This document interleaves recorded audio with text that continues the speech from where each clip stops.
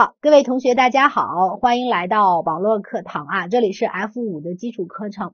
那么从这一节课开始呢，我们要来学习 F 五当中大纲里面哈最后一个部分的内容了。看 Part D 叫什么呀？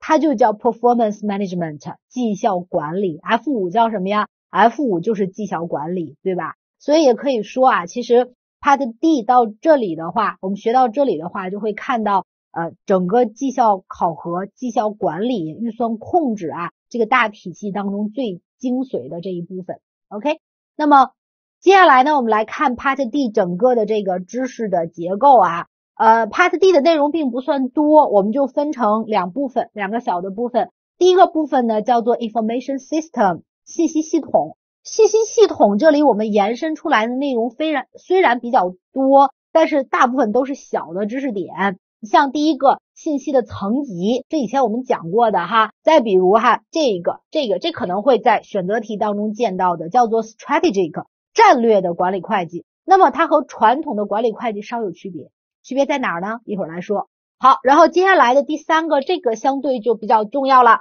企业内部的信息系统的种类，A 类系统、B 类系统、战略系统、ERP 系统等等啊，这个是我们选择题比较常见的。等会儿说。好，然后再接下来像呃 open close 的开放系统和闭合系统，内部的和外部的信息来源，首要的和次要的 primary 和 secondary 的 data 原始的这些数据等等，很多内容这都是咱们前面见过的哈。好，那么也就是说我们前面这一部分信息系统的内容呢都比较零散，那么大题会出现在哪里？在后边，这个后边也是至关重要的。也可以说是整个 F 五当中最核心的东西都在这儿啊。我们给一个企业进行绩效衡量、绩效考评，是吧？那么从什么样的角度去入手？大家应该有一个常识：对一个企业也好，对一个部门也好，进行完整的 performance evaluation，你应该从 financial and 下边 non-financial 财务和非财务的角度同时来考量它啊。那么财务这里呢，我们主要会讲到各种各样的 ratio，ratio 财务比率哈，这些财务比率呢，有一些你是在 F 二、F 三当中有学过的，那么 F 五我们讲过它之后，你在后面的 paper 当中，F 七、F 九甚至 P 阶段都会用到，这是非常基础的东西啊，我们在五当中好好的讲一下，给你铺垫一下。好，那么。非财务的角度呢，我们会啊讲到一些模型，像比如说 balance scorecard 这什么积分平衡卡，仍然是咱们重要的嗯考点。积分平衡卡其实你从 F 一应该就有见过，对吧啊？那在咱们的题目当中，它可能会给你一个公司的背景，然后让你应用这个平衡卡的模型，它的四个维度，去给这个企业来进行绩效衡量，这样来考啊。好，下边的 building block 这个模型呢，它是呃专门用于衡量服务型行业的，这个考的相对比较少，比较少。那最后一个 NFP 是什么？Non for profit organization，Non for profit 非盈利性机构。那非盈利性机构既然不以盈利获利为目的，那我们就不能够呃简单的用这些财务指标去衡量它，对吧？我们去衡量衡量什么？衡量它这个有限的资源有没有被最高效的使用啊，叫做 value for money，value for money 钱的使用价值，这个也是可以单独拿出来考大题的，好吧？这就是我们接下来在 Part D 当中要讲到的这些东西了啊。呃，再说一句啊，再说一句，我们在后边这儿啊，考这种绩效衡量、绩效评估的这种大题，这种大题怎么考呢？通常的形式都是给你一个啊比较长的背景啊，然后底下的问题它可以只让你做财务分析，也可以让你应用这个积分平衡卡做非财务的分析，还可以什么呀？还可以财务的和非财务的角度同时来入手，这样也可以啊。还有一种单独的考法，差点把它给忘了啊，这里这里延伸出来，division division evaluation division 是什么？是我的分部分公司。对吧？我专门对这个企业的分布来进行绩效衡量，也是咱们比较重要的重要的一个考法啊。还可以和我们前面讲的那个 transfer price，呃，怎么样来制定转移价格制定转移价格是否合理，也就联系到对于这个分布最终的那个 performance evaluation 是否公平，对吧？也可以这样来考。好的，那么咱们接下来这节课呢，我们就先从第一个小部分啊，从信息系统这里开始。也就是说，我们接下来要讲到的都是比较零散的小内容啊。第一个我们要讲的是什么呀？Information level 信息的层级。你说信息的层级，它是不是应该服务于我们企业的层级啊？这个企业的层级，我们叫做呃 hierarchy，叫做层级的金字塔，是吧？这个大家应该都见过哈。最高级的是我们的战略层级，战略层级呢，主要是指谁呀？指什么样的决策人群啊？Senior management 高管层，或者我就直接说是 Board of Director 董事会，对吧？那么这些决策者进行的是企业长期的决策，所以他所需要的信息是怎么样的？你说这个战略层级所需要的信息是什么样的？首先应该是长期的信息，对吧？同时还应该有外部的信息，也就是说，我的决策不能只关注企业的内部如何，我的成本怎么样，我的效率怎么样。我是不是也得看看外部啊？看看我的竞争对手如何？看看大的环境政策如何？OK，这里面强调两点，两点啊。说到战略层级的时候，我们所用到的信息应该是长期的和外部导向的。OK，好，中间的这个 technical 是我们的战术层级，针对的是企业的什么决策层？呃，middle management，企业的中层管理中层啊。他们所制定的决策呢，就是中长期的决策，比如说编制预算啦，啊，也比如说我们在 Part B 学过的各种各样的短期的这些决策，像 Make or Buy 啦，相关成本的分析啦，定价啦等等这些啊，都在这儿，都在这儿。好，那么他所用到的信息应该也是中长期的信息，但这些信息呢，主要是 internally focus，internal 主要是内部相关的啊。好，最后一个 operational 这什么？最低级的基层，基层我们叫做操作层级，是吧？你还记不记得我们以前说过这个单词啊？叫做 line manager，什么 什么县长是吧？line manager 就是我的一条生产线上面的这个主管，我的小组长都可以。那么这些最低的这些基层干部，他进行的是日常经营活动的决策哈，他所需要的信息量其实是最大的。我们的这个层级越靠下。需要的信息量越大，反而到上级的时候，我只需要一些宏观的信息就可以了。OK，下边的啊啊，operational level 啊，需要的信息是什么？短期的关注内部的这些。好，那么接下来在下一页这里呢，其实哦，这三个信息层级就是我们刚才说的。我们再来整理一下啊，第一个 strategic information 是干嘛？服务于谁啊？服务于我们的高管层，也就是董事会的啊，来辅助他们进行。什么进行长期的战略决策？所以在这两个关键词你该写了吗？什么来着？一个是 long-term information，长期相关的信息，长期的信息，还有吗？external focus，外部相关的，外部导向的信息。好，接着啊，technical information，我们的战术层级，战术信息呢也很重要，干嘛呀？它能够帮助管理层来进行 planning and control for short time period。对相对短的，其实这里也我们至少是一年，至少是一年，甚至是一到三年这样的一个期限内，我们进行预算啦、计划啦、预算控制啦等等啊。好，最下边的 operational information 就是我操作层级所需要的这些信息，应该是干嘛？day to day 嘛，对吧？和日常的生产经营活动相关，辅助于我们做日常的这些经营决策的，很简单，对吧？这东西考试的时候。如果是大题，看着分值写几句；如果是选择题的话，你不可能丢分了。我觉得啊，太简单了。好，就这样吧。接下来第二个内容，第二个内容我们叫做 strategic management management accounting 啊，叫做战略管理会计。我们先说传统的管理会计是干嘛的？传统的管理会计是服务于内部管理层进行决策使用的，对吧？好，现在我加了一个 strategic。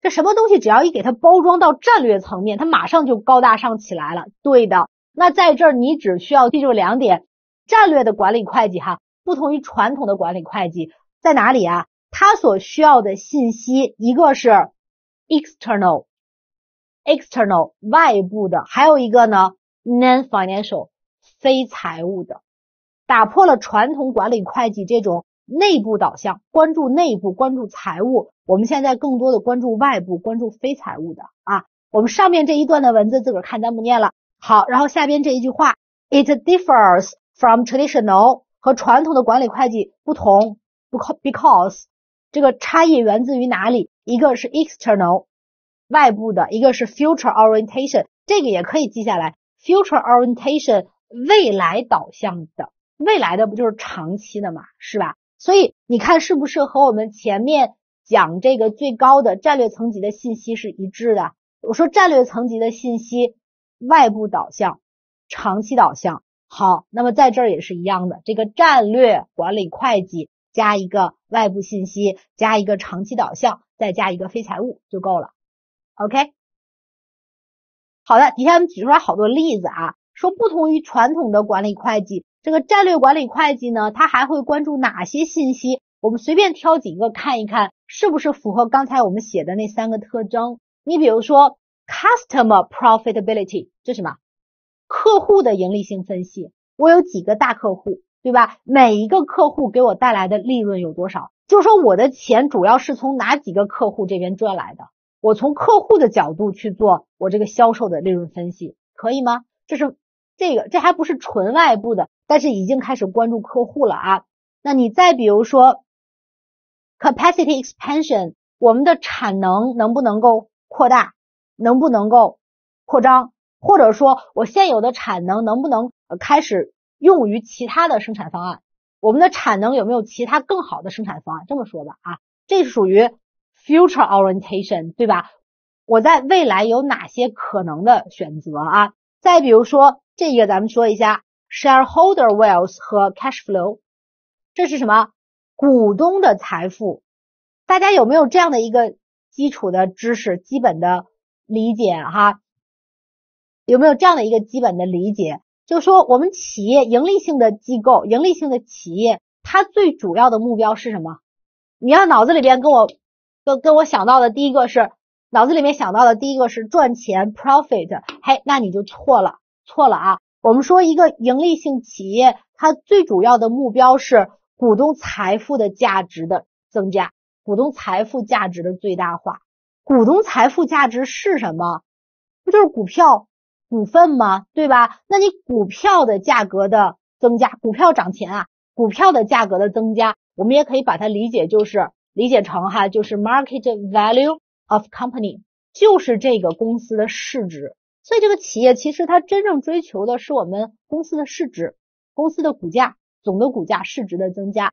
那么这个市值又可以反映为什么呢？任何一个金融工具，它的价值都是未来现金流的现值。哦，什么是现值？不用管了，现值你 F 九才会学。那你就理解成说，这个啊，一个公司股票的价值，它反映的是未来所有的现金流的价值，它能够产生的现金流的价值，到这儿就够了。所以说，我们关注现金流，它本身就是一个长期的概念。对吧？相对你再来看这个利润，某一个会计年度的利润是多少？某一个月的利润是多少？只要你提到利润，它一定是一个短期的概念。所以在这儿呢，我们说我在做做这种战略管理会计的时候，除了传统管理会计，我会看它的盈利性，看它的 margin 哈。我现在更多的去关注长期的信息了，现金流、股东财富价值。这个东西以后你学 F 九的时候会再次学到它啊。好，那么还有呢，像 competitor 竞争对手的信息、竞争对手的反应，再比如说像 acquisition and merger，我们写成 A and M，acquisition and merger 就是并购，对吧？啊，并购也属于我们的 future orientation 未来导向、长期导向的这些决策。OK，这个了解就够了啊。回过来再说一句。像这个战略管理会计，我们是会考的选择题，考到它的话，判断描述，记住这几个关键词。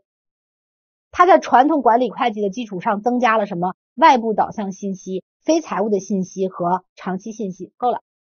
好，那么接下来呢，我们再来看第三块的内容哈，这个是相对比较重要的了，就是我们说这个企业内部的信息系统的种类哈。我们在这里面呢给出来四类，第一类呢叫做 transaction processing，叫做交易处理系统，也就是我们常说的 A 类系统，也就是我们常说的那个财务会计的系统。我所有的交易的环节录入到这个系统当中，那么最终它可以自动的生成我们的财务报告，就这个功能啊。好，接下来的这个管理信息系统，我们也称为 B 类系统。B 类系统的数据哪来的呢？从 A 类系统当中拿过来的。那么管理会计、管理信息系统这一块就是支持企业管理会计内部决策来使用的。好，再往下更高一个层级呢，叫做 Executive 行政信息系统。行政信息系统其实也就我们说的战略层面了，Strategic，也可以叫做战略信息系统。那么它的信息从哪来的呢？从上面这个 B 类系统当中拿过来的，等于这是一二三三个层级啊。好，最后一个大家应该比较熟悉吧，是吧？ERP 系统，有的在校的学生，你可能在学校当中都开过这门课，ERP 沙盘课就是经营实践课程哈。在企业的学员呢，可能你企业所采用的就是这个系统，比如说我们现在中石油还在用它，它是一个整合的一个集成的软件包。把前面所有系统的职能全部给它整合到一起去了。OK，下面我们要每个都拿出来单独给大家说一下。那么像第一个啊，这个交易处理系统，就我们说的 A 类系统，A 类系统，我们生活当中我们身边见得到这个 A 类系统吗？见得到呀。你去不去超市买东西？超市买东西怎么结账？刷一下条形码，对吧？那其实也就是说，你刷刷条形码。刷条形码的这个动作，这个行为就已经把超市的这个销售的业务录入到它的系统当中了。好，那么它每一天、每一周或者每个月的月报，最后这一年的年报，就是从它这个系统当中来自动生成的。OK，那么我们在超市结账的时候，就已已经自动的完成了去录入系统的这个过程啊。好，接着往下，我们这看到啊，说。呃，交易处理系统它的基本功能包括 collection、store、modify、retrieval，记住这几个词啊，收集信息，对吧？然后储存信息。如果我们的交易记录有误，能不能修改？超市买东西能不能退？可以啊，可以修改啊。而且我会对这个信息备份啊，一旦系统崩溃了怎么办？我那个备份的系统可以把它 retrieval 出来啊。行了，好，然后接着往下。说这个交易系统呢，我们又把它分成两类，two main types，分成两类，一类叫做 batch 批次处理系统，一类叫做 real time 实时交易系统。批次系统和实时系统有什么区别？你像我们刚才讲的那个超市的例子，它属于什么？它属于实时交易处理系统，对吧？及时的结账，及时的就录入就完成了，没有了。那么什么是这个批次处理系统？你见过吗？你你应该有见过。你有没有做过 QQ 的密码申诉？如果你申诉过的话，你就应该有印象。你的申请提交上去之后，没有人理你，他会告诉你在十个小时还是多少个小时，我忘了哈。比如说十个小时之内答复你，然后你就等吧。啊，可能上午申请的，下午突然间收到他这个他这个回复的邮件了，接下来要怎么样处理？那说明什么？那说明腾讯公司对于密码申诉的这个处理，它不是实时完成的，它要攒攒一段时间，所有的申诉我批次的一块来给你处理，就这个意思。你再比如说，你在银行汇款吧，对吧？现在没有人去银行了哈，你可能在家里拿你的那个 PC 客户端，或者更多的人就是手机 APP 就操作了。好，那你说你银行汇款的时候，是不是有的时候是实时到账的，实时处理系统？还有的呢？最迟两个小时到账，见过吧？哈，那就是说每两个小时进行一次批次的处理，明白哈？明白就好了，比较简单。好，下边它的特征 characteristics 这个了解就行了哈，一般不会考到那么细节。你比如说，它是一个 controlled processing，我录入的过程还有我生成的过程，它是可以人为进行控制的啊。第二个 inflexibility 没有灵活性啊。你的功能就是录入和生成报告，对吧？你没有后续的这个分析呀、决策呀、不确定性的这种呃，我们叫敏感性分析啦、什么建模的方法啦，都不在这儿，那都在我们后边的战略系统当中啊。好，还有快速反应 reliability，行了啊，不多说。好，接下来第二个 management information system 管理信息系统呢，也就是我们常说的 B 类系统，是吧？我们前面有没有说过啊？B 类系统的信息从哪儿来的？Information is extracted from TPS，信息是从 A 类系统当中拿过来的。A 类系统生成的报告可以用于 B 类系统当中，对吧？那么这个管理信息系统具体在做什么？前面有一些解释，看它可以用于 monitoring performance，对于当前的生产活动进行监督监控。这里的监督监控指什么？指 control 控制。后面也有，后面后面还有啊。好，这里的监督监控指的是 budgetary。Budgetary control 预算控制，不用再解释这个预算控制的完整的职能的流程了吧？大家对它应该很熟悉，就是我们管理会计的那一套的东西都体现在这个这个系统当中完成啊。好，还有 maintaining coordination，还可以在不同的交易行为或者说不同的呃职能吧，不同的职能之间来进行协调 coordination。OK，后面还提到了一个。能够定期的来生成报告，provide periodic report 就行了。差不多像啊管理信息系统，你需要知道的哪个？知道知道哪个？一个是这个信息从哪来的？从 A 类当中来的。再有它的基本作用，就是管理会计相关的作用。再有生成报告啊。好，底下的这个特征自己去看一下啊，不说了。好，接下来的第三类叫什么？叫做。呃，行政信息系统是吧？我们也可以叫做战略信息系统。刚才说了，只要这一个东西加“战略”这两个字，给它给它一包装，马上就高大上起来。对的，那在这儿也是一样，在这个战略或者叫行政信息系统当中，它就肯定会使用什么信息啊？外部的信息，你自己还可以补关键词：外部的信息、非财务的信息。长期导向的信息，OK，都可以，都可以写在这儿。好，然后下边还提到呢，computing 用到了一些电脑模型啊，帮助我们来进行战略决策的，帮助我们进行战略决策的什么电脑模型啊？什么模型啊？在最下边啊，这个你还认得吗？What if analysis？还有吗？啊，就说了一个，好吧？What if analysis？这是什么？敏感性分析啊，sensitivity。Analysis sensitivity margin 敏感边际敏感性分析敏感性分析我们说它就是一个 what if analysis，就说如果一个变量变化了，对于最终的那个结果的影响，对吧？敏感性分析还可以再升级，升级成 simulation，通过电脑建模的形式。那你这样你这样来看，你不管做的是什么分析，它在分析什么呀？它的目的是什么？它在分析什么？Uncertainty。不确定性，uncertainty 不确定性，对，关键在这儿啊。好，我们到第三个这个战略信息系统、行政信息系统的时候，关键点记什么？关键点记什么哈？第一个你要知道它的信息从哪儿来的，从刚才的 B 类系统当中啊拿过来的。还有呢，关注了外部的信息、长期导向的信息、非财务的信息等等。那么这些信息都是为董事会、为高管层进行战略决策进行服务的啊。好，还有额外再记一点，就是它可以用到一些电脑的分析模型。这些模型干什么用？为了进行这种风险和不确定性的分析就够了，就够了啊。好，然后接下来的最后一个最高级的一个，这什么 ERP 嘛，对吧？ERP 叫 Enterprise Resource Planning System。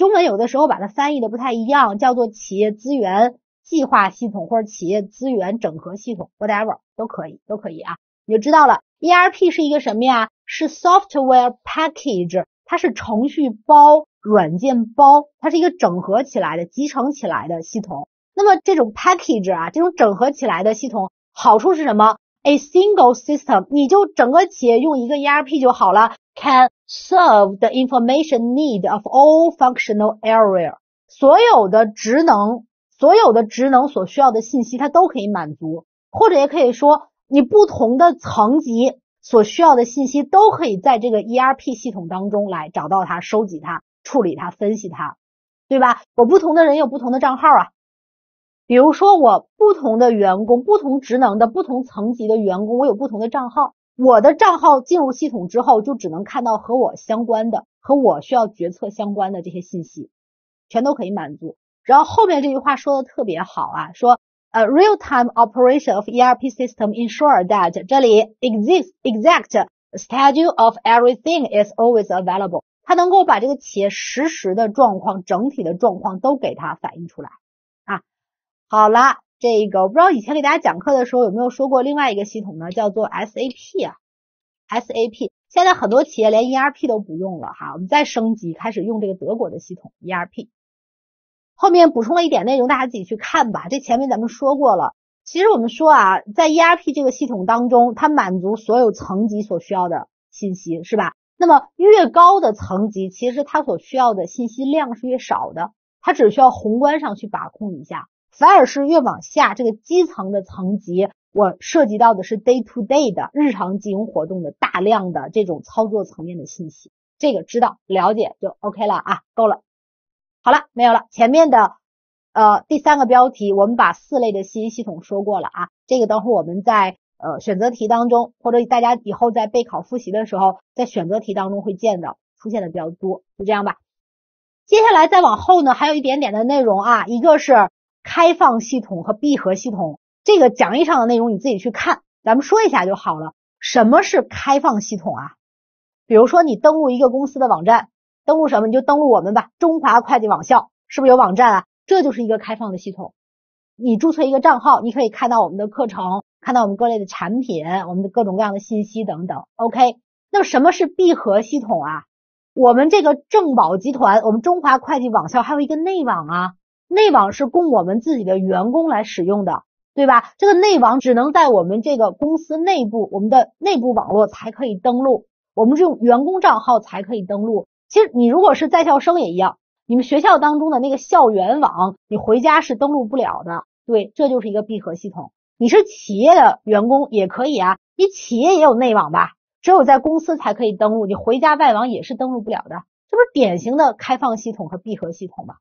对吧？哈。好，那么开放系统呢，在这儿我们来看一句话，在这里底下，For example, it is influenced by and has an influence on supplier, customer, employee, compet competitors and society as a whole。他说这种开放系统啊，会受到所有利益相关群体的影响，对吧？从外部的客户啦，然后我供应链的上游、下游啦，包括竞争对手啦。我们之间都是相互影响的。举一个例子，他在描述的是什么样的开放系统啊？每个人都用过，有没有在淘宝上买过东西？对吧？淘宝网就是一个非常典型的开放系统，这里面所有的供应链的信息全部都是公开的，关于产品、关于价格、质量、供应商的信息基本上都是公开的。OK，淘宝啊，记着这个例子，行了。好的，那么。呃，第四个标题下面的这些优缺点啊等等，大家自己去看看就好了哈，不是特别的重要。本来考这个开放闭合系统啊，考到概率也很低，过过去了啊，过去了。接下来再往下，第五个标题呢，我们要见到的就是内部的和外部的信息来源，这也是非常常识的，是吧？好，我们先看啊，内部的信息来源，企业内部的信息又可以分成 formal 和 informal，正式的和非正式的，也是了解就行了。什么是正式的信息啊？你比如说会计记录，我的账，对吧？这肯定是正式的信息啊。Payroll record，我支付工资的这个记录，包括我们的产量、产能啊。Time sheet 是什么？有在外企工作的小朋友们吗？对吧？在外企，基本上所有的外企都是你每个小时都要去记录下来你在做什么，你的 time sheet，这些都是只要是有案可循的东西，我们都叫做 formal 正式的。那么非正式的是什么？这里提到的像 questionnaires，我们的那个问卷调查是吧？还有一些呃会议的记录等等，还有特别典型的就是 rumors 谣言、口耳相传、八卦，对吧？这些信息不重要吗？也很重要，这就属于 informal 的，没有这种正式的文件性的东西，就叫做 informal 就行了。好，下面还有一句说，内部的信息呢，基本上都是集中于。比较低的层面，操作层面的啊。好，那么外部的信息，外部的信息，等会儿再说是什么，源自哪儿。首先你要知道，做企业的长期战略决策，它所需要的信息是什么样的？前面不是说了好几次了吗？对吧？长期的啊，然后外部的、非财务的，对。所以上来的第一句话就是说，这些外部的信息其实它和进行战略决策的相关性是更强一些的。也就是说，你前面内部的信息更多的是支持于我企业基层的。经营层面的、战术层面的、短期的、中长期的决策，而做这个长期的战略决策，我们更多的还是要看外部外部信息。好，再有一个，获得外部信息呢，通常要 more expensive，要更贵。为什么？因为你内部的企业内部的信息是在你日常的经营活动当中就记录下来的，它自然而然就会生成。而外部的信息通常需要你额外的付出代价，额外的付出努力、付出代价去获得它啊。OK。你看，我们外部的信息来源包括什么？第一个，dictionaries，这什么？黄页，对吧？号码簿、地址簿、黄页这种东西啊。associations，联合会提供的信息。那么 government，政府的信息，客户的啊，网络的大数据的等等等等，所有的这些。OK，后面还强调了一句说呢，呃，这种外部的信息呢，它有可能和你本身决策的和你企业内部的相关性比较差。而且这个信息，如果你不留神的话，它很有可能是 out of date，out of date。你收集到的是过去一段的时间的信息，这这什么意思在这儿啊？等会儿我们先把后边的最后一个说完。这个 prime 和 secondary data 我们前面讲过，讲过，我们在这就不看文字了啊，你自己去想。说这个 primary primary data 首要信息满足两点，第一个是我亲自收集的。第二个是我收集这个信息的目的是非常明确的，比如说你是大三的学生是吧？你要做一个什么大学生的科研项目，你现在要收集的就是大学生毕业去向的一个调查，要做这样的一个一个报告。好，那你怎么办呢？你就针对你本校生来做了一个问卷调查，这样收集的信息就是 primary，你亲自做的。做这个调查的目的非常明确，获得这个信息的目的非常明确。你要做这个大学生的项目，就这样啊。好，那么 secondary 这种次要的信息、次要的数据、次要的信息，打破前面那两点，要么就不是你自己去做的，对吧？要么就是收集这个信息的时候啊，它并不是为了你一开始的这个初衷。比如说，我把行业的一些报告拿过来，政府的一些 publication 拿过来。这个内容记起来了是吧？咱说过好，那么回过来，刚才咱们说到这儿，说到这儿，说这些外部信息呢，很有可能是 out of date，那肯定的呀，外部信息它肯定是 secondary data，对吧？它肯定是次要信息，那次要信息又不是你收集的，或者说次要信息当时在收集的时候又不是本着你现在的这个用途目的的，它很有可能是在过去完成的，很有可能是 out of date，对吗？明白哈？能对上就行了。好的，那么我们这一节课的内容、知识点的讲解就到这儿了。好多零散的东西啊，接下来我们做几道小的 mock，巩固一下。来，第一道题呢，说以下的描述关于啊 data and information 信息和数据哪些是对的？多选啊。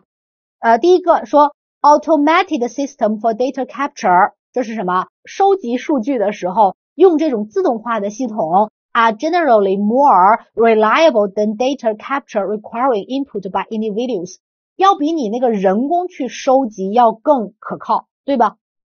对的吧？你说你在超市买东西，最后结账到底是扫条形码自动出价格更准确，还是那个收银员拿着计算器挨个去给你摁这个价格更准确啊？肯定是这种自动化的系统会更准确一一些哈。就是人工来做的话，它的误差会比较大。失误会比较多，误差会比较大，好吧？第一个对的，来第二个，呃，as a general rule, secondary information is more expensive，对吗？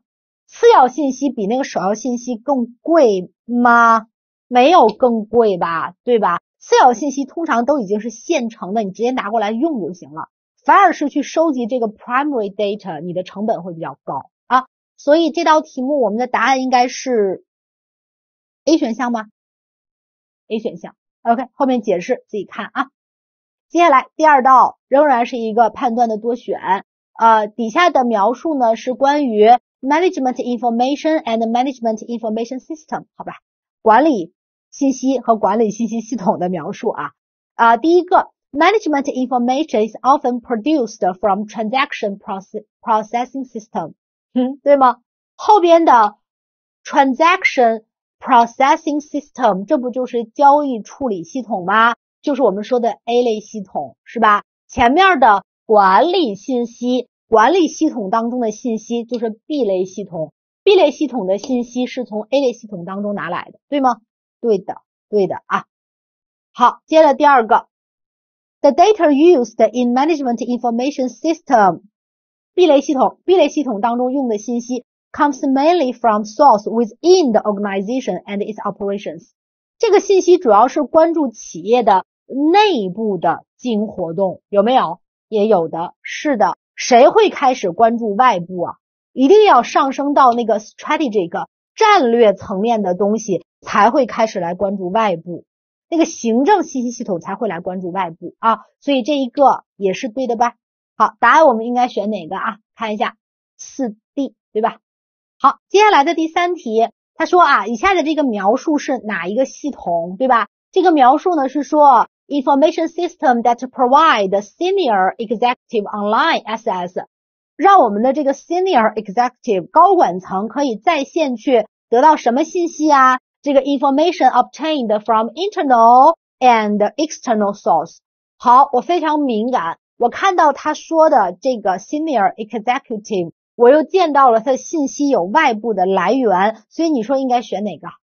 肯定要把 A 类和 B 类给排除了，是吧？所以这底下的 C 和 D 肯定是不选了，C 和 D 肯定是不选了。答案是 A，Executive Information System。对啊，那么二 B 也不能选。如果这个题目是在描述 ERP 的话，它一定会强调它是一个集成的一个集成的系统，满足所有层级的要求。它没有说，它的描述很精确，就是这个 A，这不应该错的啊。